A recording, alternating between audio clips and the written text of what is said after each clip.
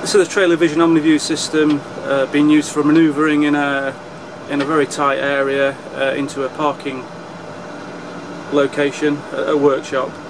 Uh, the right hand side of the screen is showing the reverse camera and the left hand side of the screen is showing a look down view.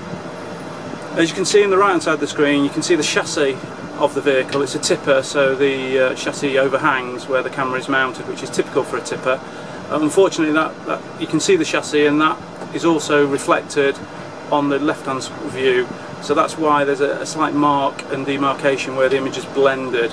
Uh, although you, there's no blind spot, you just get that um, slight uh, distortion where the chassis is uh, overlapping.